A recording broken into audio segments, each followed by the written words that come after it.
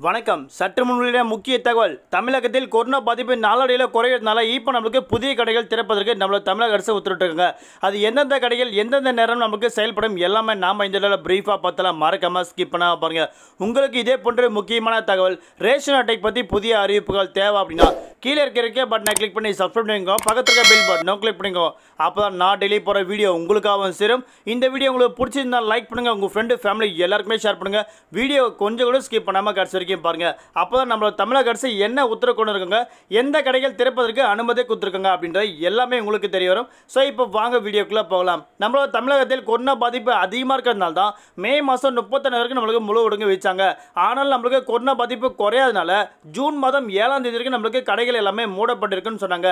ஆனால் நடமாடும் வானல் மூலிமா நம்மளுக்கு காய்கறி மற்றும் பழங்கள் மளிகை பொருட்கள் எல்லாமே நம்மளுக்கு கொண்டு மக்களுக்கு சேர்க்கும்படி நம்மளுக்கு மூன்று சக்கர வாகனங்கள் நான்கு சக்கர வாகனங்கள் மூலம் நம்மளுக்கு தமிழக அரசு அனுமதி கொடுத்தாங்க. ஆனாலும் பார்த்தீங்கன்னா இப்போ வரைக்கும் நம்மளுக்கு மகிழ்ச்சிகரமான விஷயம் என்ன அப்படின்னா நாளடைவில் தமிழ்நாட்டில் வந்து கொரோனா பாதிப்பு கம்மியாக இருக்குது அப்படின்னா நம்மளோட முதலமைச்சர் மு க ஸ்டாலின் ஐயா வந்து சொல்லியிருக்காங்க இன்னொரு பக்கம் என்ன அப்படின்னா நம்மளோட ஸ்டாலின் ஐயா சந்திக்கும் போது முழு உடங்கு நம்மளுக்கு முற்றுப்புள்ளி வைக்க வேண்டாம் அப்படின்னு சொல்லியிருக்காங்க அதனால மக்கள் எல்லாமே ஒத்துழைச்சா மட்டும்தான் நாம் திரும்ப முழு இல்லாமல் தளர்வுகள் கொண்டு வந்து நம்மளுக்கு மக்கள் எல்லாமே சந்தோஷப்படுத்த முடியும்னு சொல்லியிருந்தாங்க.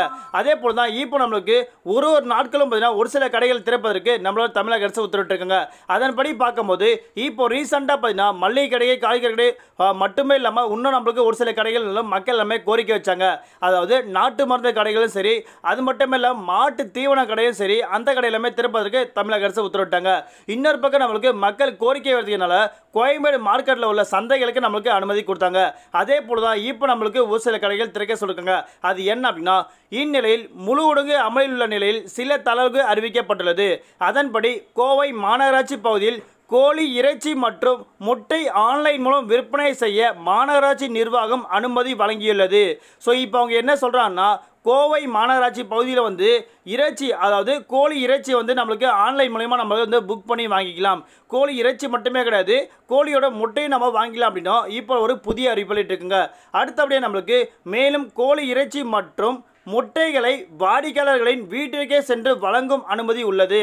அதாவது நீங்கள் வந்து ஆன்லைனில் புக் பண்ணீங்க அப்படின்னா நீங்கள் போயிட்டு புக் ப புக் பண்ணதுக்கப்புறம் நீங்கள் நேரடியாக போய் வாங்காமல் அந்த கடைக்காரர்களே பார்த்தீங்கன்னா டேரெக்டாக உங்கள் வீடு கொண்டு வந்து நம்மளுக்கு சேர்க்கும்படி நம்மள தமிழக அரசு உத்தரவிட்டிருக்காங்க.